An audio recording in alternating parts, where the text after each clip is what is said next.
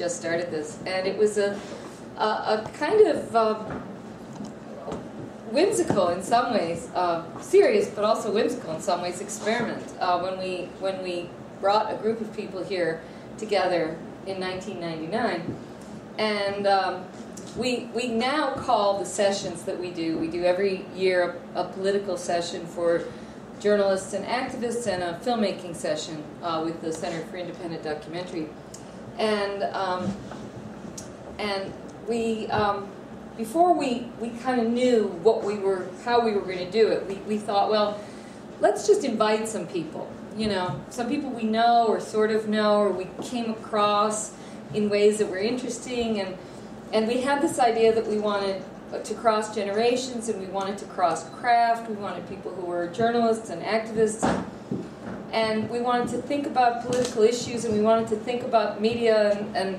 Andy used to have a, a, line that he used to ask, can you have a left media without a left movement? And that was always a question that, you know, interns at the Nation would mull over and it was something that animated this uh, to some extent. And we we didn't really know how to start, and so we just thought, well, let's just start. And the one thing we did know was how to sort of have a party. and we thought, well, the worst thing that can happen is that everyone will have a good time. And, um, and a lot more than a good time happened because uh, we all had a fabulous time. Um, but we also launched this project which for now 15 years has brought people from all over the country and the world together uh, to think deeply and to live expressively and to take a break from their ordinary life and um, and, and, and feel the joy of politics. And we've also made some lifelong friends uh, who we otherwise wouldn't have. And so it is um, just a tremendous, tremendous thrill uh, tonight to have one of those people. Um, Jennifer Berkshire was part of the original group of campers, um, and we called them campers. I mean, it's not really camp, but uh, and at that time, you know, because it was this experimental thing, you know, we we didn't. Now we call it like K1, K2. This is K26, you know, Kopkind 26, but. At that time, we really weren't into that, and so then Jennifer coined this term. Well, they were pre-K, um, but she's just uh, really a marvel. Um, I mean, a really uh, funny, brilliant person, and um, a person who is very um, dear to our hearts. And um, so we thought, why not? Um, in this week where we're talking about um, borders, and we're talking about border lines, and the border lines, and the lines that that separate us, and that um, and that create divisions, and and to think about that broadly why not bring someone back who has thought quite a lot about education and um, and who's always entertaining and who we love to see. And so I give you Jennifer Berkshire.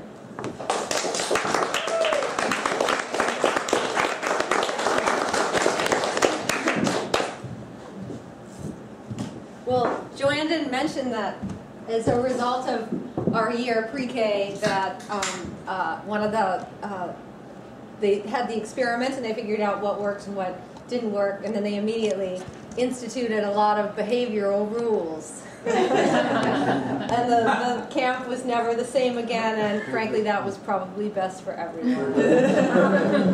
so, um, so I'm going to talk about education, and since that's our topic, I thought it would really only be fitting if we started with a little field trip.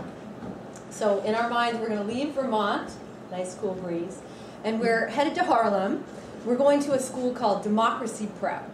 And if anyone here reads the New Yorker, you might have read about democracy yes. prep in the most recent issue. Um, in the Talk of the Town section, a writer named Ian Frazier has a, a glowing piece about uh, democracy prep's first graduating class.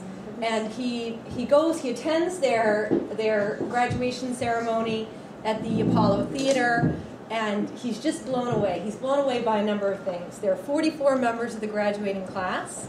Um, all of them are going to college. He also really likes, he's impressed by all the dignitaries that are there. Um, Ban Ki-moon drops by from the, uh, from, the, um, uh, from the United Nations. And he's also, uh, Ian Frazier also really likes the fact that all the kids at the school have learned how to speak Korean. And isn't this impressive? So this happens to be, um, I'm, you know, fascinated by the subject of urban education. And so I, when I read this, I thought, well, gosh, you know, it's interesting. There's a lot of stuff that he's not telling you. And I wonder, you know, if, I don't want to make assumptions about the sort of people that subscribe to the New Yorker. Um, I happen to be one of them, but it is among our nation's widest publication, rivaled perhaps only by the New York Review of Books. But if you know, one could read this story about uh, kids going to college and learning a foreign language and have it feel very familiar, right? That if you're if you occupy a certain class position, this all feels very familiar and natural. So what he doesn't mention, he doesn't he fails to mention some specific things. For example uh, Korean is the only language offered at the school, and the kids are required to take it. But the big thing he doesn't tell you is that this is a very particular kind of school that's more and more popular in urban areas called a no excuses school. Um, the general philosophy behind the no excuses school is that whatever is happening in the community in which a kid, a student, and his school is based whatever's going on in his life is no excuse for him or her not being able to achieve at the highest level. And that shapes everything about his education experience, everything about the way that he's taught, and everything that's expected of him. So I tell you this, we, I take you on this field trip as a lead in to what I think of as kind of three consensus, if that's a word. Um, is that a word, JoAnn? Know. It's nice. Um, um, we're we're in an interesting moment because um, suddenly uh, we're in broad agreement about a number of things without ever really having had any kind of discussion or vote or back and forth. So the first thing that we're all in agreement um, about is that absolutely everyone must go to college right? There is there is no alternative. You must go to college, and that really we're going to deploy a whatever it takes approach to get you to college. Number two is that there's a, now uh, uh, quite a broad consensus among elites.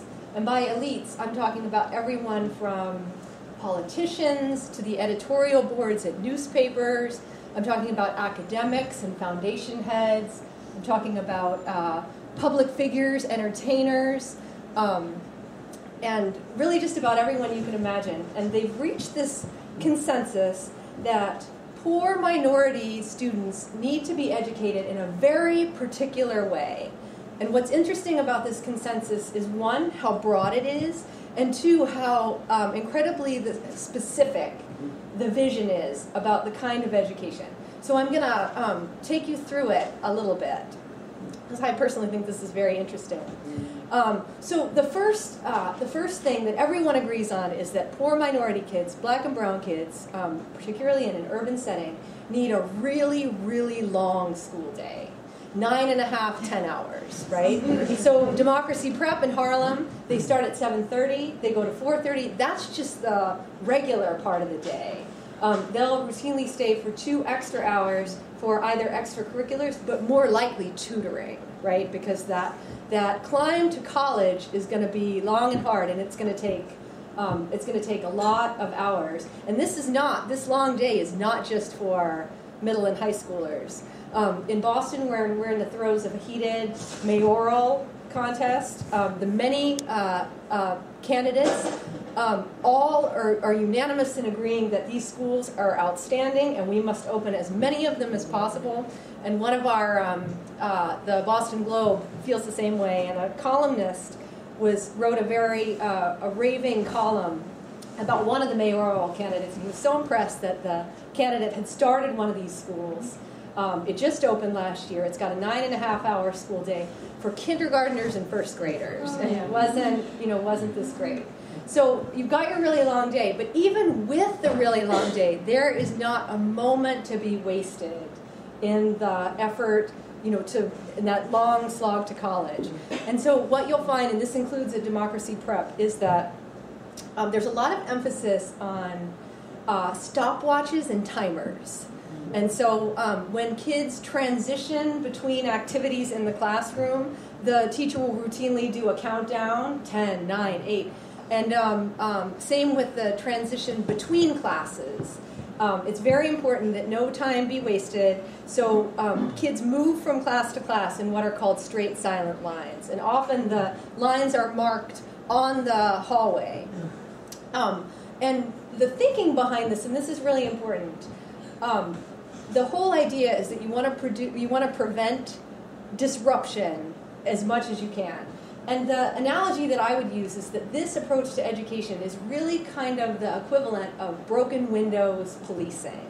And it starts with the idea that the biggest hurdle these students face in their long slog to college is discipline issues. And if anyone's worked in a urban school setting, you know this is a real thing.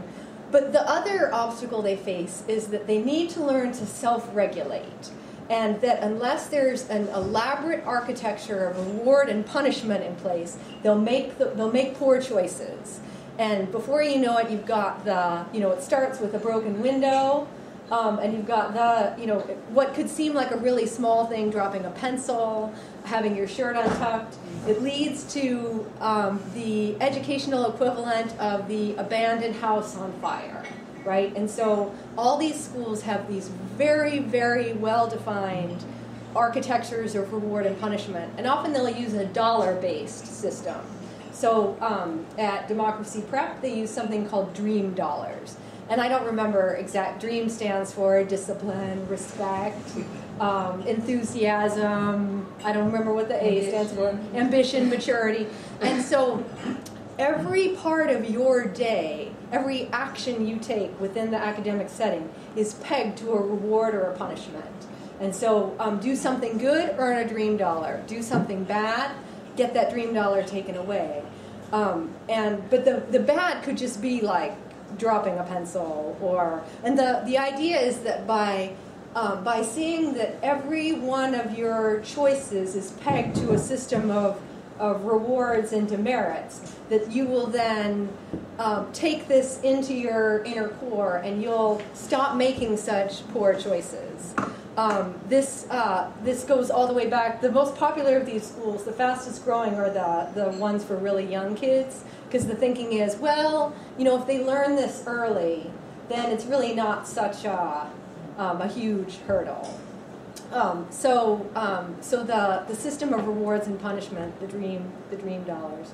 Um, the other, the last part of this is that these poor minority kids require a very specific way of being taught, and um, it's this is now has taken over the uh, the uh, these schools in an urban setting and is even starting to move into the suburbs, and it's called slant. It comes out of the KIPP schools, as a lot of this stuff does and slant basically is just, um, it's, it tells kids exactly how they're supposed to act in the classroom. So the S is for sit up, um, the L is for listen, the A is for ask questions, the N is for nod, and the T is for track.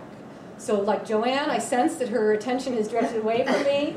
Yeah. Um, and and the, the idea is that that as soon as a teacher has to interrupt the stream of instruction in order to correct particularly misbehavior. We've got another, you know, we're just that close to the the burning building, and so um, so every part of these the, the these students' days is slanted. Um, there there might be some add-ons depending on on where you are. Um, if anyone um, lives in Connecticut, there's a, a chain of charter schools there that's been getting a lot of attention called Achievement First. And um, they add um, a couple things that I hadn't seen before. In addition to slant, students also are instructed to fold their hands. A lot of concern and focus on the hands. That seems to be a, a locus of troublemaking. And then the younger kids are instructed to puff their cheeks out because that keeps them from talking. And as we know, anyone who's had children or has been around them knows that um, children are naturally disruptive, right? So this, um, exactly. So JoAnn, I'm going to go ahead and give JoAnn a dream dollar, and if she act, if she behaves for the rest of the session, she may be able to cash that in later for a piece of cake or a drink. so, so those are, um, um, so that's kind of the the uh, the what these schools are like, and they're um, they are now um, they're opening at an incredible rate, particularly in cities. And if you watch the news in the spring and you saw all the um, the protests in Chicago and, and Philadelphia, a lot of that has to do with the fact that these schools are basically replacing the former public schools. So we've got the system. The great thing is that it works really well, and the people who advocate for it, that um, the elites that I mentioned, um, will often talk about how these schools have cracked the code. Um, Rahm Emanuel loves to talk about how these schools have discovered the secret sauce. He talks about the secret sauce all the time. Um, but the problem is that the you know the recipe has a few problems.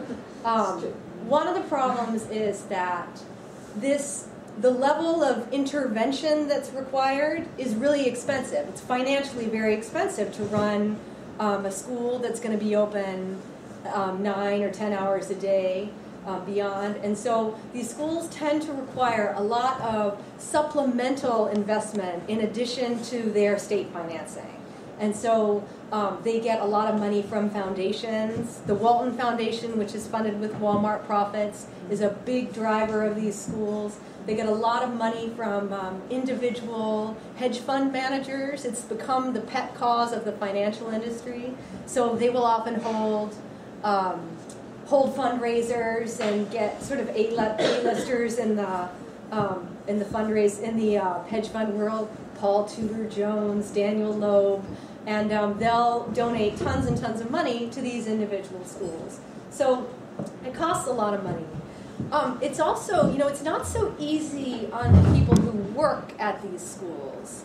Um, obviously, uh, teaching for, you know, teaching at a school where the school hour is 10 hours a day, uh, many of these schools also require the teachers to be on call in the evening because just because the student is no longer physically in the building doesn't mean that he's not going to need help with homework or potentially make a bad choice, right? And so it means that um, you, it means that the population of teachers um, is changing in some place, cases very quickly and, and uh, very dramatically. So in a place like New Orleans that went through um, uh, a really dramatic education reform um, experiment, one of the consequences has been that they accidentally eliminated three quarters of the black middle class teachers, which were, they were sort of the anchor of the the African American middle class in New Orleans. In a place like Chicago, where the ed reform experiment has been going on for 20 years, um, the, uh, the population of the percentage of African American teachers has dropped from 45% to 19%.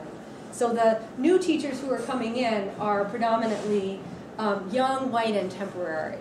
Um, through no fault of their own. They may be very, they may be the most passionate about doing this work in the world. But that's an, you know that's a rough that's a that's a lot of time to put in.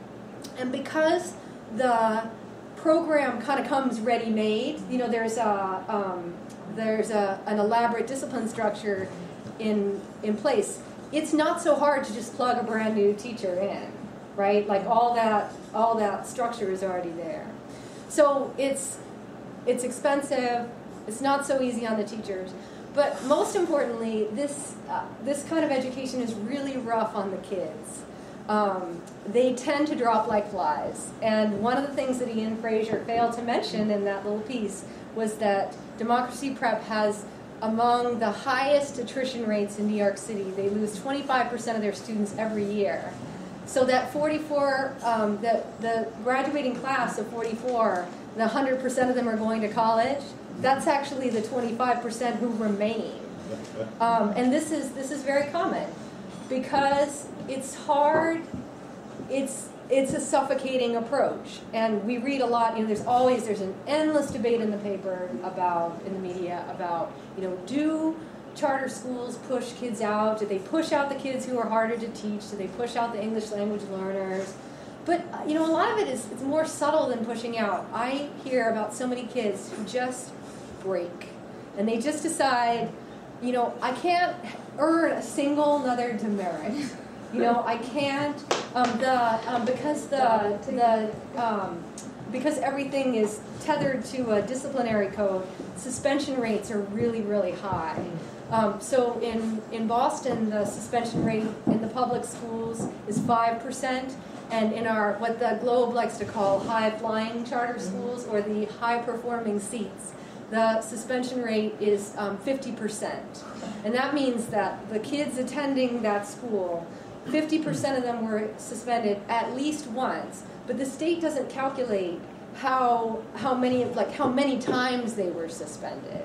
So, you know, we'll have kids that return to the public schools that were suspended 35 times. Because if you're not, if it just doesn't take, right, it's, it's probably not going to take. That's not the place for you. Um, the uh, Achievement First in Connecticut that I mentioned, got um, made a lot of headlines because their suspension rates um, were extremely high for kindergarteners, and so you know that they they they have to they have to learn that there are consequences to their action, and there's a whole spectrum um, of punishment. Um, so that could include. Um, you might go to a special room. I think it's the relationship room um, you might come back to class wearing a, a white t-shirt over your uniform um, that enables you to continue learning, but it also signals to your classmates that they're not allowed to interact with you. You're ostracized, um, and then you're um, you write. You're supposed to write a letter explaining you know why you did what you did and that you've learned from your mistakes. And then at this particular chain of schools, which are prominent, fast growing, and extremely well politically connected, the students vote on whether to accept your apology. So, um, so the these this particular approach on which we're now in complete agreement is necessary and must be expanded as quickly as possible is really brutal on on the students themselves. So what happens to them? Well, they obviously have to go somewhere, right? And so that uh, leads us to the next consensus, um, which is not talked about as publicly as either number one, which is that everyone must go to college, or number two, that this is the education that poor minority kids need. Um, this is, you'll find education policy people are, have begun to acknowledge this publicly. Um, hedge fund types will talk about it, perhaps later into the evening. Um, and that's the idea that, you know, we tried this whole equity thing. You know, we tried to we tried to bring up the whole we tried to raise everybody up and you know it didn't work. It it didn't it cost so much. We didn't get the results. And so really the best we can hope for is to do a lot for the strivers. And that's that's not my word, that's actually that's their word, the advocates' word, the strivers. And so that's exactly what, for that's why so many people would see democracy prep as a success story, right? They raised up a small subset of that community, and those kids are going to go to college. And isn't that great? Well, the problem with that is that in uh, in more and more urban settings, and this is happening pretty rapidly, um, you now have dual competing school systems. And so you'll have a, one a school system of college prep schools and charters that establish their own rules for admission and exit, and the public schools, which are increasingly the schools of last resort. Um, so, you know, in Boston, for example, we're, uh, uh, you know, uh, an immigrant city, getting more becoming more of an immigrant city every year. 30% of the kids are in the schools are English language learners.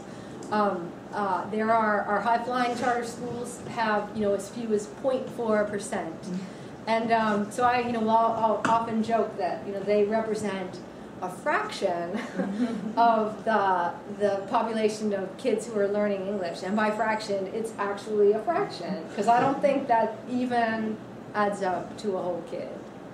Um, so this is um, this is happening. It's happening quickly, and the balance shifts between these school two school systems um, you know, pretty dramatically. So in uh, in Detroit, for example, where the number of charter uh, of college prep schools and more selective charters has skyrocketed, you see that the students who need the most help, um, the percentage of students with special needs starts to skyrocket in the public schools. Um, this became kind of a, a, a, source of debate in Washington because it turned out that the charter schools were expelling, they had an expulsion rate that was, you know, like five times as high as the public schools. And that was when a lot of these groups that are all based in Washington, the education policy think tanks, were, you know, some of them said pretty candidly, well, you know, we have to admit that these schools are not, they're not going to be for everybody, they can't be for everybody, but this is, you know, this is great. At least we're, we're helping the strivers. Um, one of the, there's a last um, consensus, and it actually should have been at the, at the beginning, and that is this, you know, we all agree that there is nothing more important than than our public schools. That they, if we can figure out how to fix them, we will solve poverty. And you know, this is great. And if anyone saw um, the movie Waiting for Superman, there's a kind of an astonishing moment where um, Davis Guggenheim, who I suspect may be a New Yorker subscriber, um, he kind of theorizes. You know, he's thinking outside the box, and, and he says, he theorizes that, you know, like, what if we've got it all wrong? You know, like, what if the problem with our public schools, the reason that they're, you know, our public schools in high poverty areas, what if the problem isn't that the school reflects the community, but that the school is actually causing poverty? Yeah. Um, and that this happens because the expectations of the teachers, protected by their, by now 9,000 page union contract, their expectations are so low and the education is so poor that the kids who you know are either dropping out and and infecting the neighborhood with their low expectations um, or they just they come out and they're not college they're frankly not college material. So this was you know this really a lot of people when they heard this it just it blew their minds and they just this kind of caused the whole education reform movement to, to take flight because it, you know, it's a really kind of powerful, intoxicating thing to be a 26 year old and run one of these schools and be the person who's solving poverty in a way that you commune people or communists um, were unable to do. So the schools have never been more important. So while Democracy Prep, where we started our field trip, um, is remarkable for being so unremarkable among this particular landscape of schools, there is something kind of interesting about it. It's called Democracy Prep for a reason, and it's a small chain of schools. Um, it is run um, by um, a young white guy, with the exception of a few high profile uh, people. Almost this entire movement and all these schools are run by white people. Um, so he, the reason they have to learn South Korea, they have to learn Korean is that he spent some time in South Korea and was really impressed by what he saw. But he decided that, you know, wouldn't, it would be really cool to take this no excuses um, philosophy, and that's how they identify themselves as a school. What if we took that and melded it with the concept of citizenship? And that in addition to um, being, you know, being put on a path to college, that this school would produce what they call citizen scholars.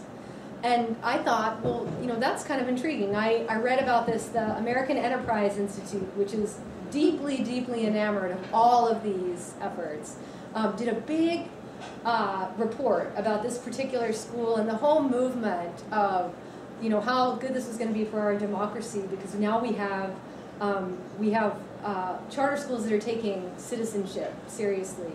And I thought, well, this is kind of fascinating because what, like, how do you define citizenship in a, um, in a disciplinary culture where you're not really allowed to talk? And of course, you know, I don't want to exaggerate, especially in the senior years. You know, they have they have back and forth, right? But but there is something about moving through the hallway in straight, silent lines, and then saying, well, you're going to be, you know, uh, um, you're a, a citizen. So I noticed the report was fascinating, and I did bring a copy if anybody wants to read it. But I noticed that they were very particular about how they defined citizenship, and they defined it as operational citizenship. Um, and so instead of like the you know the big um, uh, conceptual notion of citizenship that the campers might explore during their seminars, theirs is more focused on concrete actions. Say lobbying, like lobbying for, say, more charter schools, or taking a bus to Albany to lobby for an end to mayoral term limits, right? Like that's that all sounds really good. So. um, and the uh, the head of the school who's leaving leaving this summer, his work is done now that the first um, first class has graduated, the American Enterprise Institute asked him, you know, is there is is this melding, you know, are are there any kind of shortfalls? Are there way are there areas where your dream of melding uh, citizenship and a no excuses school have fallen short? And he had a really interesting um, a really interesting answer. He said that it's very important that the teachers and staff repeat important citizen, citizenship themes to the students over and over and over again, that they make those themes sticky, right? Because that's really the only way that they're going to take hold um, with the kids. Uh, he says, Our scholars learn what we teach them, but the really scary part is the corollary. They don't learn what we don't teach them. And um, you know, when he talks about the fact that they, they um, Many of the school students come from backgrounds and homes where even the most basic civic knowledge, habits, and skills are often lacking. Um, constant repetition um, should gradually start to embed these behaviors and norms into their day to day lives. Uh, so I thought, you know, that was really interesting. I spend a lot of time in, you know, kind of down at the heels places in Massachusetts visiting schools, and I'm always so inspired by um, uh, students who've come up through the public schools were success stories, could have gone off and done anything. You know, often they do. Inevitably, it's financial services. And then they come back and they do something else and they feel sort of called to help lift their city up. And I just, I think that's, I love that. And so there was something so depressing about a vision that assumes that that these students are just empty vessels and they have absolutely nothing to say about the world. And if you watched any of the protests where um, uh, young people poured out into the streets, walked out of their own schools, made poor choices, mm-hmm. and um, had protests, and there have been hundreds of these. The big ones have made it on the news: Philadelphia, Chicago, Newark. But really, they're uh, the sometimes it's just students walking out of a particular school, and they have absolutely no trouble explaining in in incredibly clear um, in incredibly sort of stark terms what it means that their schools are being closed, that their communities are, that there's no investment in their communities, and the idea that someone would need to stand before them and repeat over and over, make it, the lessons sticky in hopes of embedding a view that someday, you know, when they get up on that stage at the Apollo Theater. So, um, so that was my um, little tour uh, for you through um, No Excuses Land. And if um, anyone has any questions, I'm happy to answer them. And then when we're done, I will tell you very briefly secrets about my camping experience here. and also, like, sort of what it's meant for me, what Kopkind has meant for me personally. But I couldn't quite figure out how to meld those two together.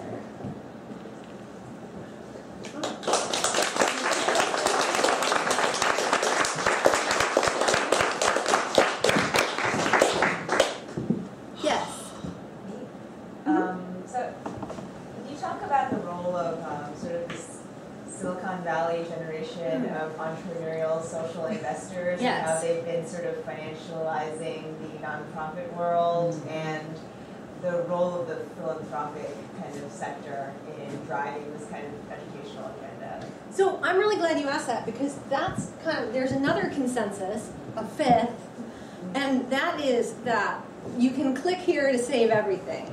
And that our entire discourse has now been taken over by young app designers and they view institutions as fundamentally flawed. There are no good institutions, and that their role is to disrupt them.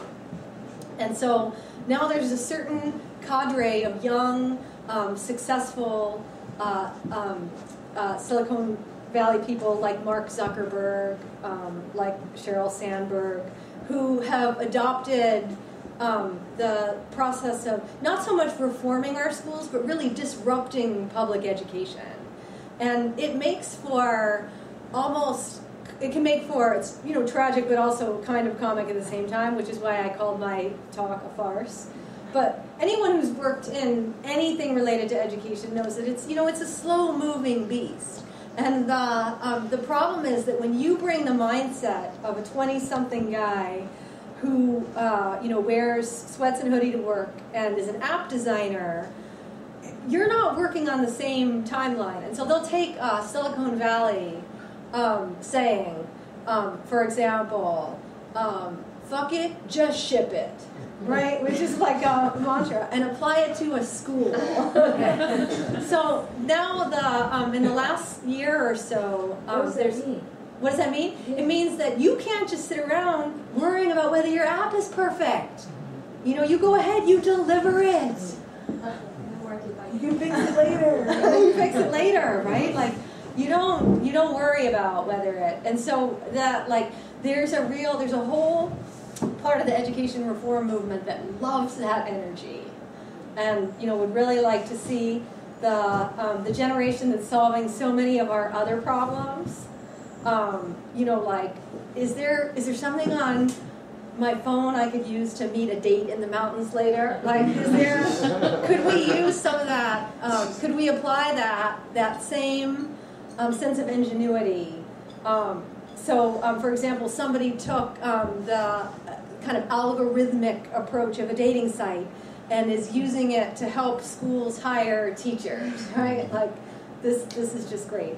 So the in the last year, last couple years, the Silicon Valley um, group has gotten much more involved in trying to affect the debate in a um, in an organized way. So Mark Zuckerberg gave a lot of money to his um, to the Newark schools, but it came with some strings. Came with many, many, many strings. One was that it had to be used to um, change the pay structure and reward the high performing teachers with merit pay um, which has has never worked anywhere, but they will never admit that. Um, it also there was something funny that the um, if the if the um, political leadership of the state changed, that Zuckerberg had the right to take the money back.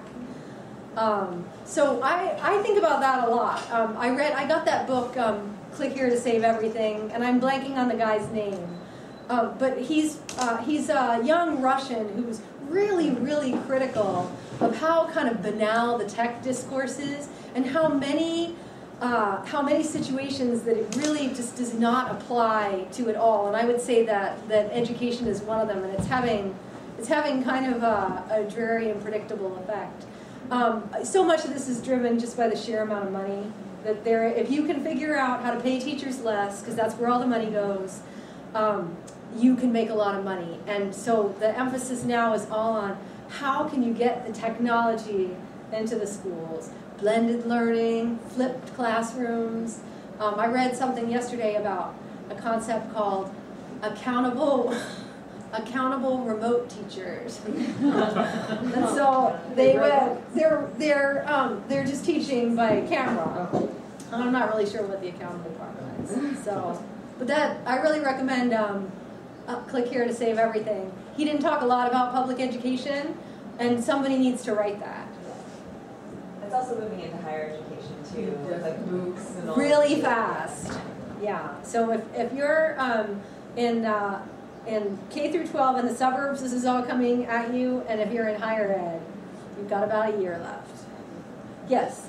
So, what is the model for successful urban schools that um, produce um, successful, successful students with, that don't follow that, that straightforward Um, well, I didn't tell you, I didn't say anything about how I got into all this in the first place. Um, so um, I'll just give you the, the quick version. I came to Kopkind, I decided to be a freelance writer. My husband and I decided to buy a house, I needed to get a job.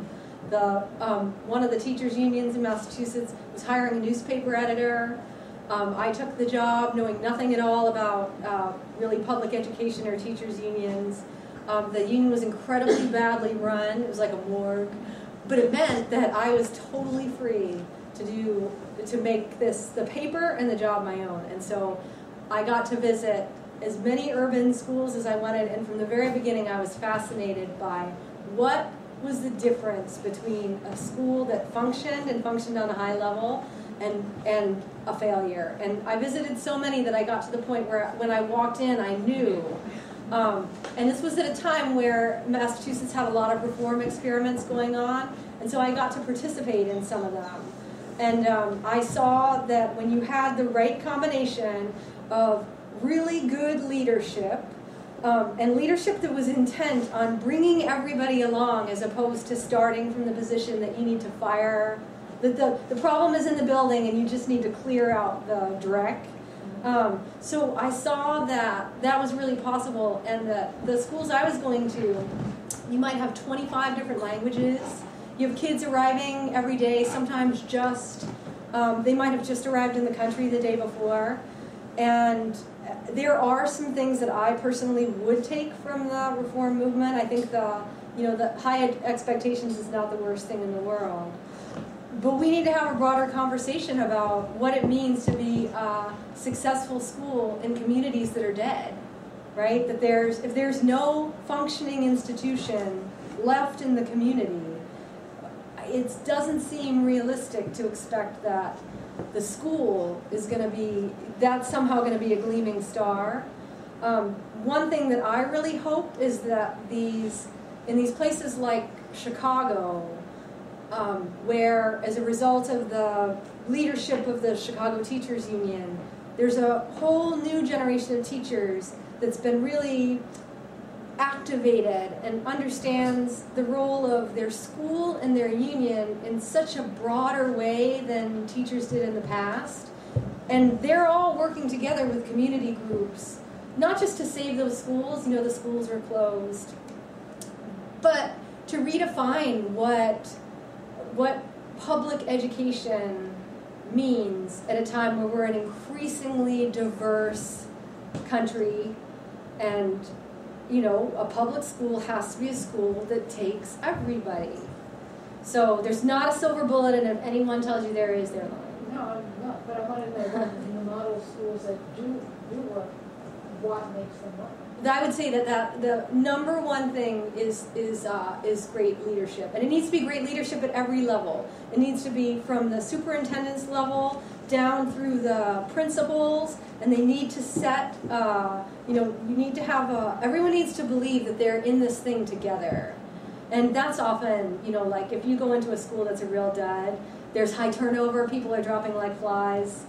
Um, um, I'll go in schools and they will have gone through six principals in seven years. That what you can't get anywhere with that. Yes. I um, run a restorative justice program in our, in our high school, and in doing this for a number of years, one of the things that I've learned, and I think the better teachers support, is that if you can teach a kid how to resolve conflict, whether it be conflict with a teacher, with a parent, with other kids, you, you've solved the majority of the problems that we have, discipline problems in the school. Um, and, but yet, if you look in the curriculums of any school, you'd have, be hard pressed to find anywhere where there's a course that's teaching kids how to resolve conflict Right. in a peaceful, effective way. And I'm wondering if in your experience, anybody's really making a movement. I wish they would. I mean, I think you're totally right. I think the discipline issue is just huge, and that you have right now you have these two systems where the the charter schools are fixated on discipline, and the public schools, at least the ones that that I'm in, have no consistent policy of discipline, and so it means that you know, like that's not good either, and so. There needs to be something. We need an honest conversation about what that means, and I hope the restorative justice people are the ones Right, driving. well, you, you said uh, a consistent policy on discipline, and that's one of the, also, one of the mistakes I think. is, well, it depends on what you mean by Yeah. consistent. I don't really know what I mean. But I just know that that's what, when I talk to teachers, yeah. that's, that's the thing that Yeah, makes, discipline has to be geared towards the kid, yeah, absolutely. What's not restorative towards some rule. What's that? What's restorative justice? Restorative justice means when some problem occurs in school, let's say a kid bullies another kid. Rather than punishing that kid for that, you say, okay, what did you do? How did you affect not only that kid, but how did you affect the whole school community? What was the impact on everybody involved? And then what can you do to correct that behavior or, or correct the harm that you maybe did to somebody? And that's really what restorative is all about. So it's, it's meant to teach, it's meant to, somebody learn something out of their mistake. She implied that there is a movement, is there a movement called restorative? Yes, I mean, I think there is a Yeah. movement, um, but, in communities too, not just. Yeah, and it's in communities. Yeah. There's a big movement in the Oakland public schools, I just came from the National Restorative. Yes, yes, I, I read The chance. We're right, right. Is there an expert in the room that can I'm not an expert, but there were several people from the Oakland public Yeah. schools talking about the work that they were doing, doing, as well as in San Quentin, Yeah. some of the work that's being Yes, done it's now being around the done whole exactly restorative justice process. And uh, they had some of the, the young people there, uh, they had several young people there, uh, not only presenting, but, but talking about their experience in this process, so. But So there are some movements, and I know Definitely. Brattleboro is one of the. right, we, we're doing quite a bit there, and, and you know, since I've been in this high school nine years doing this, for a while, our suspend, you talked about suspensions out of school, it was just climbing, climbing, climbing, getting worse, you know, throw the kid out, throw the kid out, was a problem. And for the first time last year, we started shifting the other way, we started, the, number of suspensions decreasing.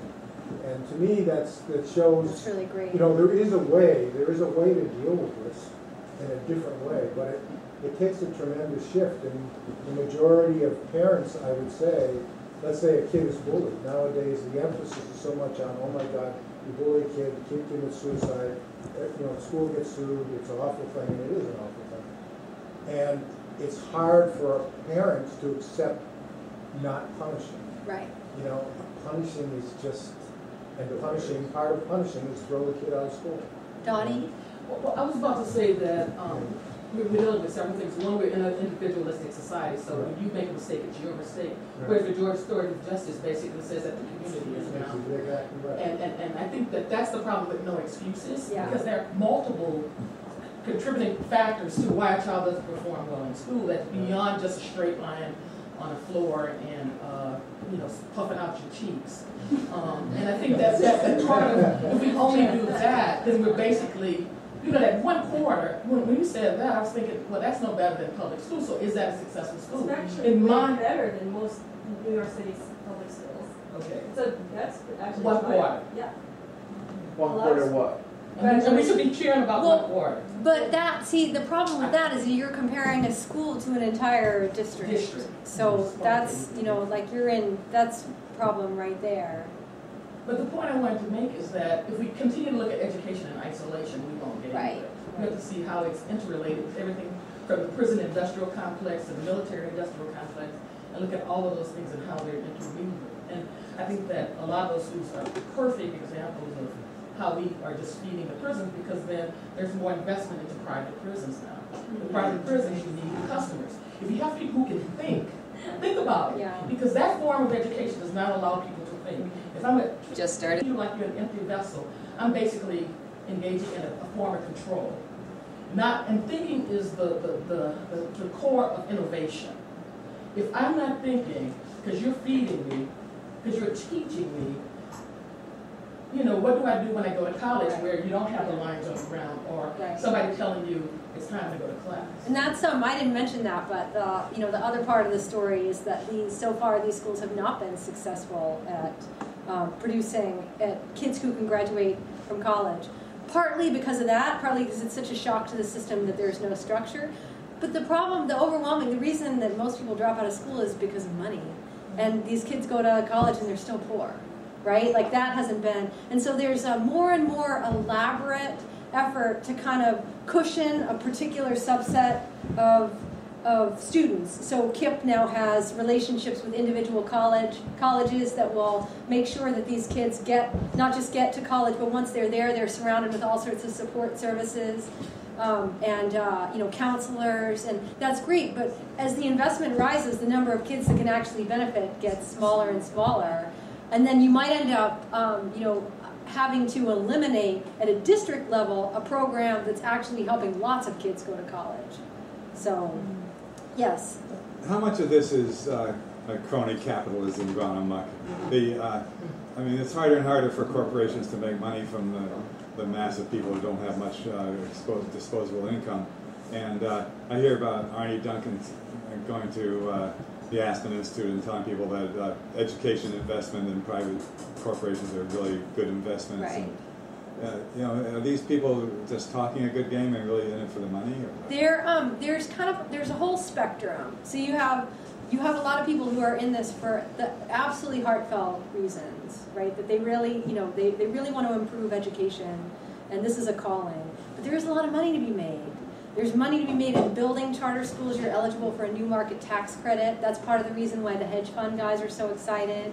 Um, the big money right now is in who can get technology um, into the schools. Not just to sell the actual gizmo, but because the calculation is that if you could replace um, uh, teachers with, you know, if you can replace teachers with laptops, um, class sizes can get bigger, but it won't necessarily matter so much. So I, you know, when you read about somebody's great idea, do a little calculation. Does it have they figured out a way that's actually going to drive down the cost of of of teaching? And that's almost always what it is.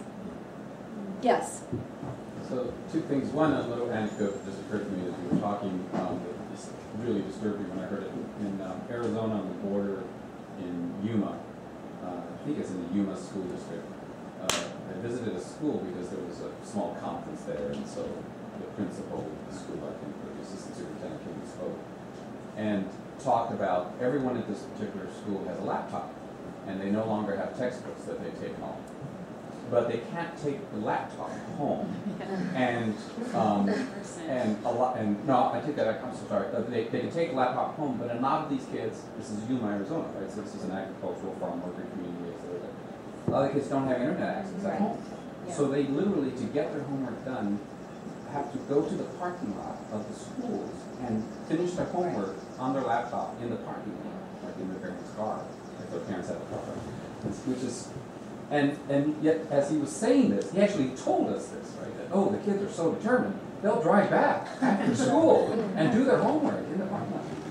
And I thought, there's something really unsettling about this, right? There's something really contorted about this because, and I have a 10 year old daughter, if my daughter had to go to the parking lot, if we had to drive her there, and I could afford to do that, I have a decent car, I would not want her, this is not conducive educational environment for me, right?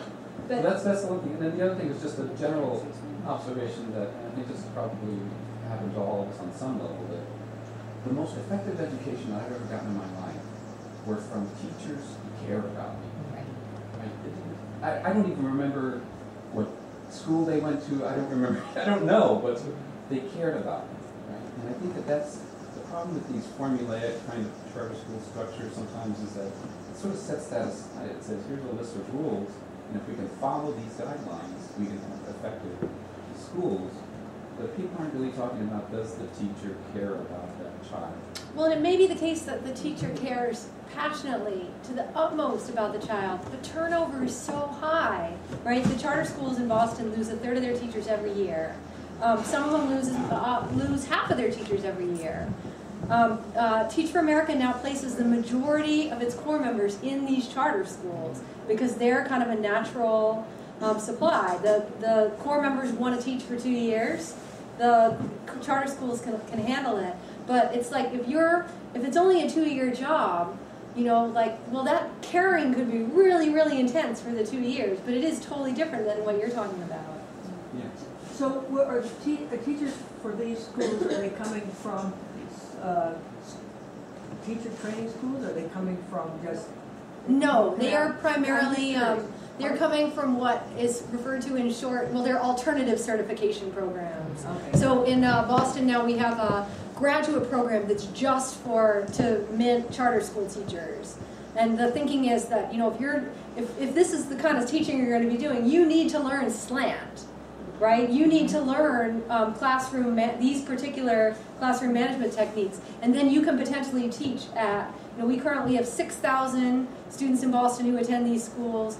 Um, it's a matter of minutes before they eliminate the cap on charter schools, so half of our schools will be these charter schools. They burn through so many of the teachers, they need their own, um, they need their own uh, graduate school. But that's why the new terrain in this debate is all about teacher preparation. So, What do anyone they read pay the those Times today? teachers? That it's kind of all over the place. Um, the starting salary might be really good, but because they stay for such a short time, they never reach the top of the, the pay scale. And then, you know, we I've been talking about the high achieving schools, but there's another subset which really basically says we can do the same crappy job the public schools do, but we're going to do it for cheaper. So in Michigan, for example, where they've had a couple of districts where they've just handed over the whole um, uh, district to a charter operator, and the teaching salary dropped from sixty-three thousand to thirty-two thousand in a year. And I was curious, so I just went to their website. You know, they had a whole tab benefits. so I clicked on it, and the benefits were great. Um, workers' comp, um, social security, um, um, something related to like a burial, a burial leave. Um, you got a pension. If you were in a state that that had a pension system, you were eligible for. So, so that's actually like people don't really talk about that, but that's a pretty fast growing. These states where they're um, where there's no industry and the tax base is dried up, there's going to be a big push to just say, you know what, these like we might as well if you know if we'll we'll give the private contractor the the option, and then of course the you know the kids that are more expensive to educate, they go somewhere else. We don't really know where.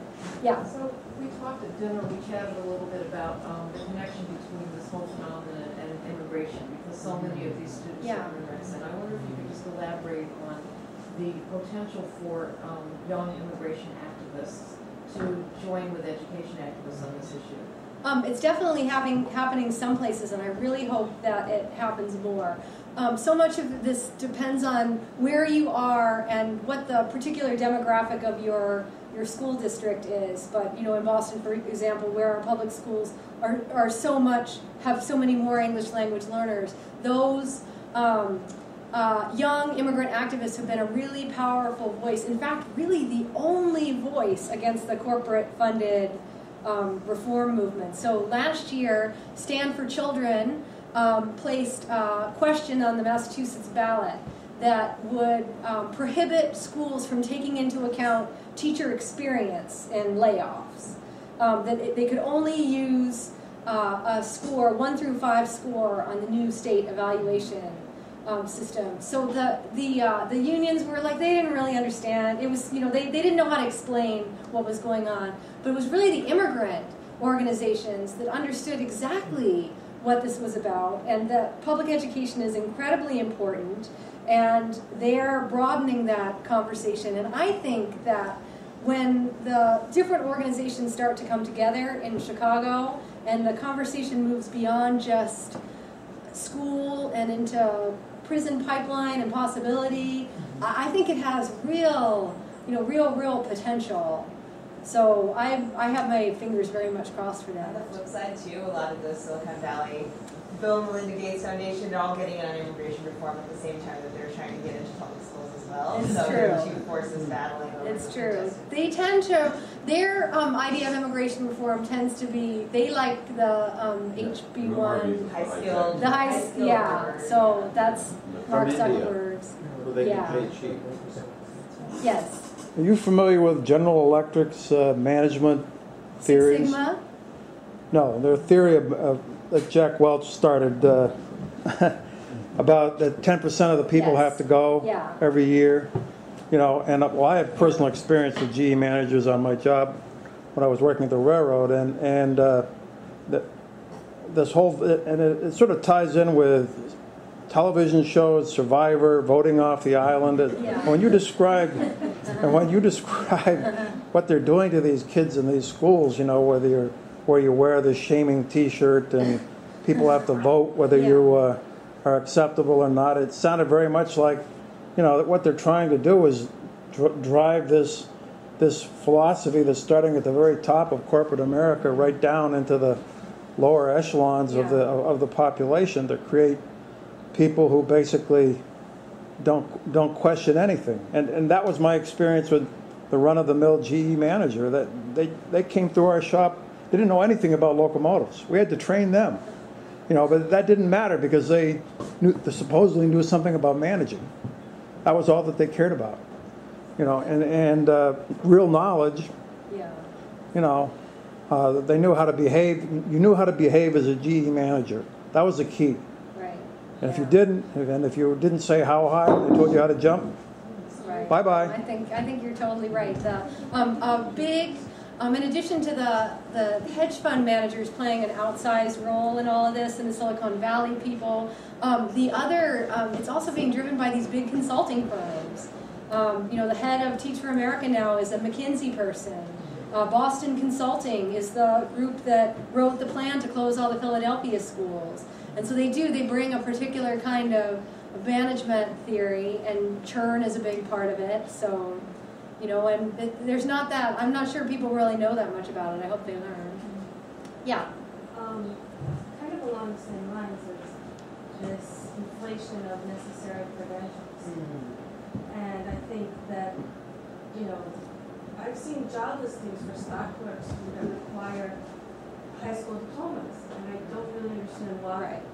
You know, um, huh? Well, it's a badge that you could get through and do something. I, I mean, You the- know, Well, don't you think? That's why. No, no, I mean, my first paid job was working, you know, as a fifteen-year-old in Kmart, you know, I didn't have a high school diploma yet, I was still working on it, you know?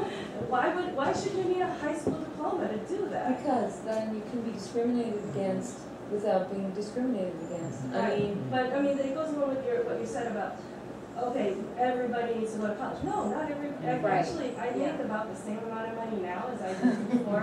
I got my high, my, uh, college diploma, which I got in two thousand eight. You know, and I went through, um, Connecticut Public Schools, which have been taken over by the state now. Are you from Bridgeport? I'm from Waterbury. And, um, you know, a court, we started out with two hundred and fifty students in freshman year. We grad, you know, four hundred students freshman year, we graduated hundred and fifty. Wow. You know, and so there were, there's some alternative, um, adult ed for high school, at, that there was at that time in ninety-four. Um, but, you know, my friends who dropped out, they're not homeless, they're fine, you know, they're, they're working. Well, they're probably not saddled with debt, right? Huh? They're probably not saddled with debt either.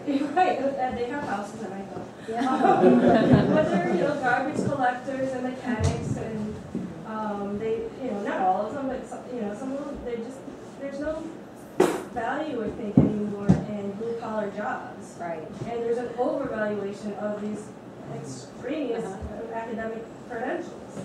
Have you ever thought about designing apps for a living?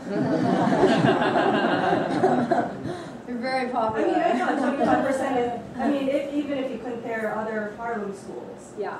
twenty-five percent is pretty good, actually. Yeah.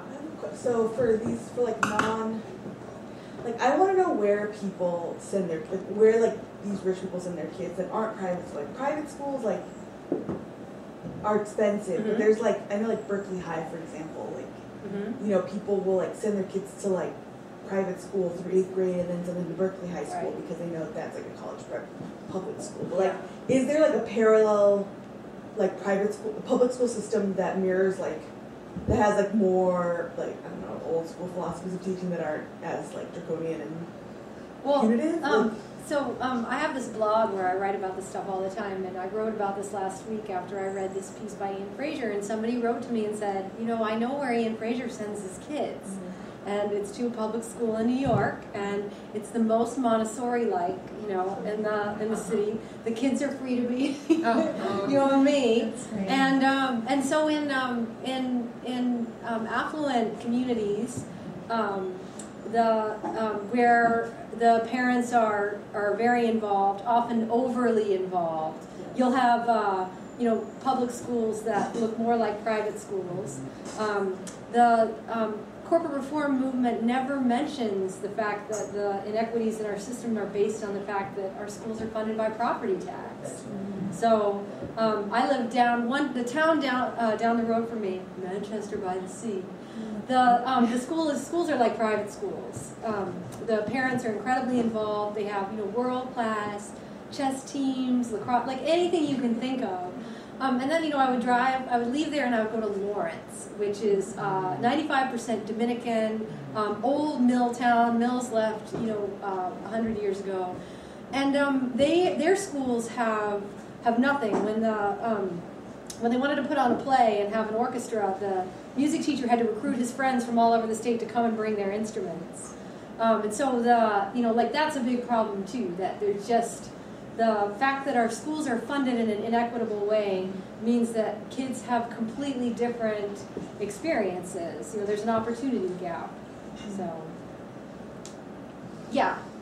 Um, how much are the, uh, are the same people who are pushing for this corporate reform movement also pushing for national standardized testing? Is there overlap there? Good, excellent question. Um, yes, yes, and yes. The most, you know, we didn't, we, I didn't mention that at all. But the other really interesting thing about the moment that we're in is that there's a major backlash brewing against uh, standardized testing and how excessive it is. And even the Times, in an utterly incoherent editorial today, had to acknowledge that there's too much testing. And you know, the problem is that these newspapers more and more are are the newspaper part is failing but it's married to an education company right? So like washington post is married to kaplan. Um, and so they you know like their profits come from things like standardized testing.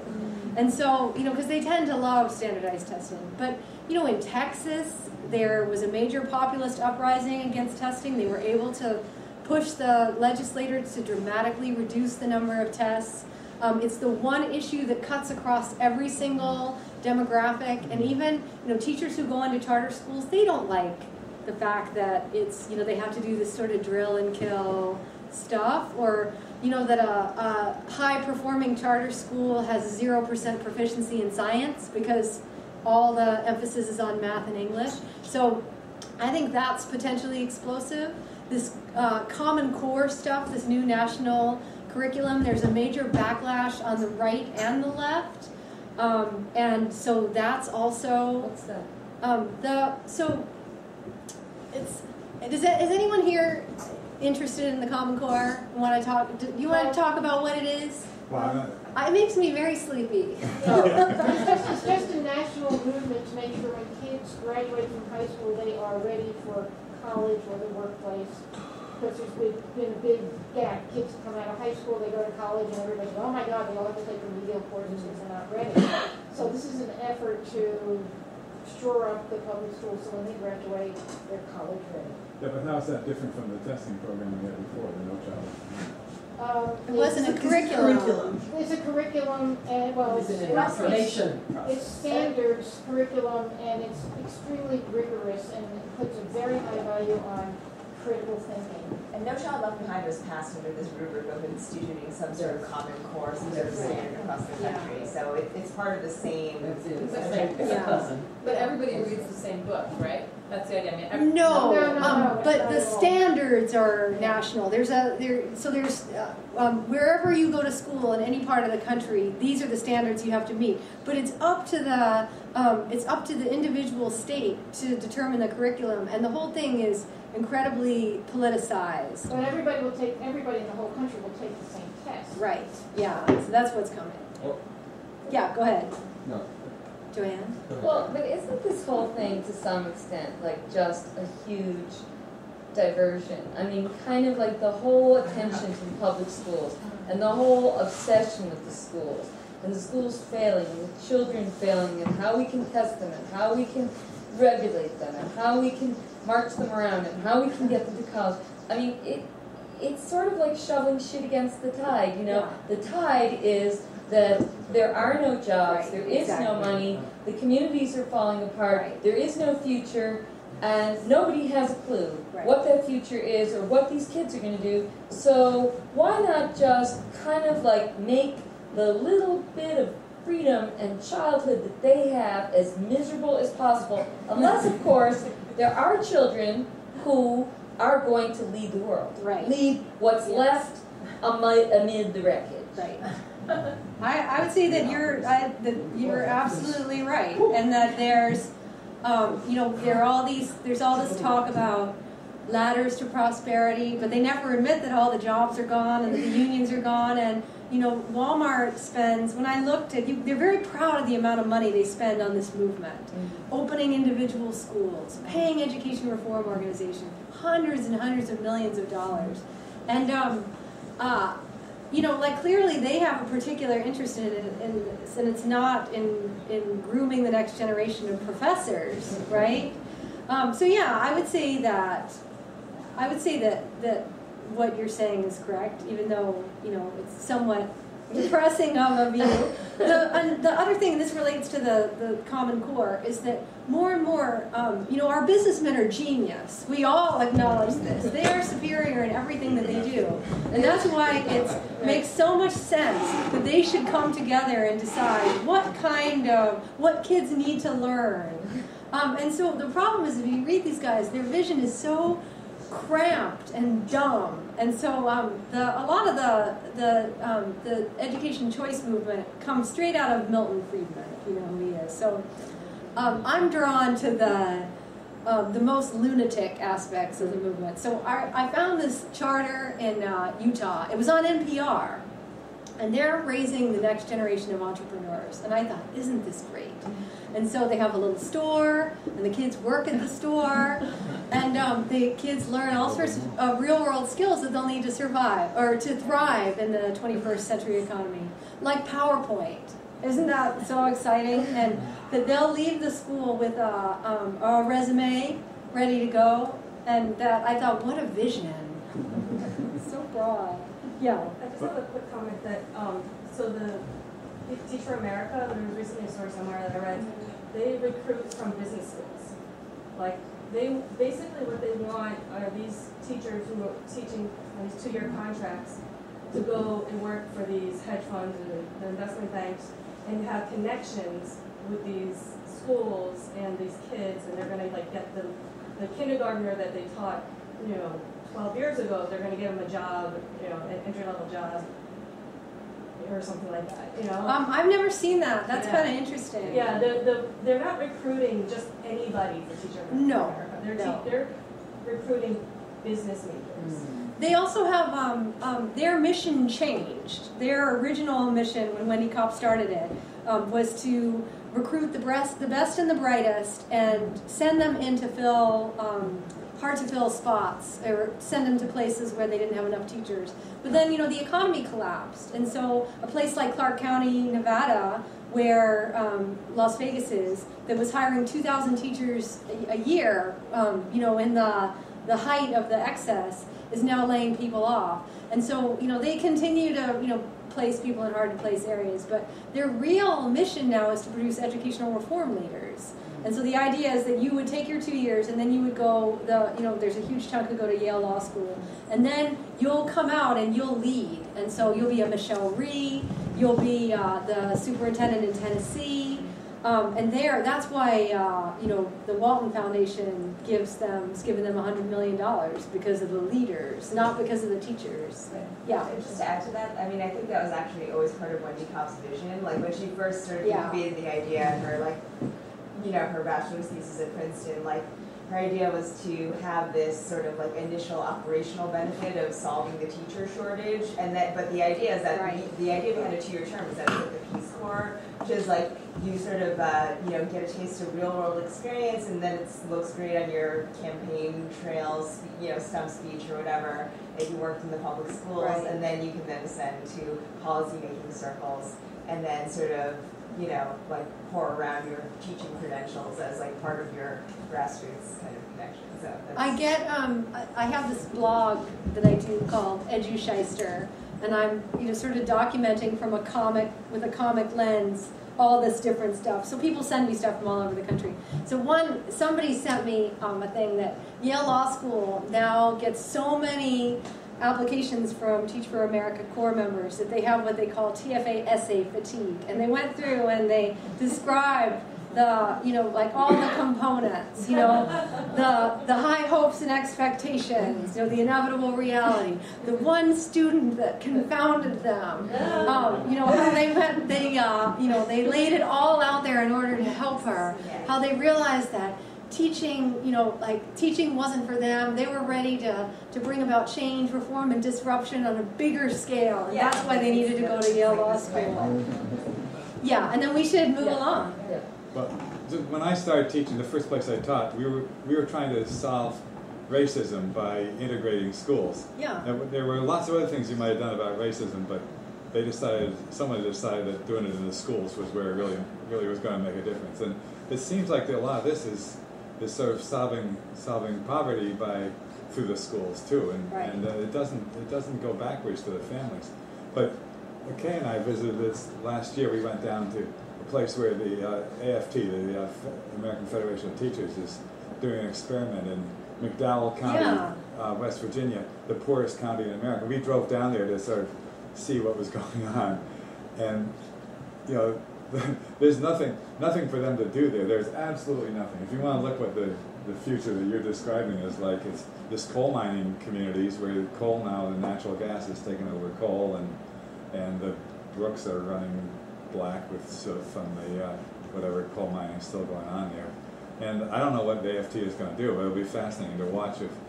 I mean, maybe they'll buy them all bus tickets out of, out of the state or something, but. Uh, It was a really cool um, project, and you know, in most communities, the teachers are the largest organized group, and so if they actually got their act together and had a broader vision, it could really mean something. And in West Virginia, they decided that rather than try to break the union, they would bring the union in as a um, a partner along with all these community organizations because it was the largest organized group, and see if they could solve some of these problems.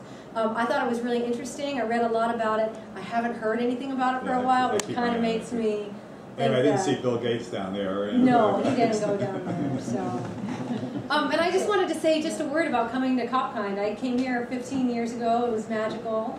Um, I um, uh, made friends that continue to be close friends today, including JoAnn, who I know fondly as Big Sister.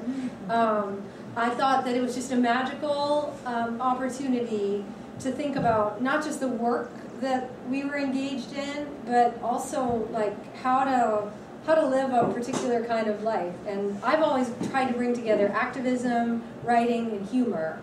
And going to Kopkind really helped me.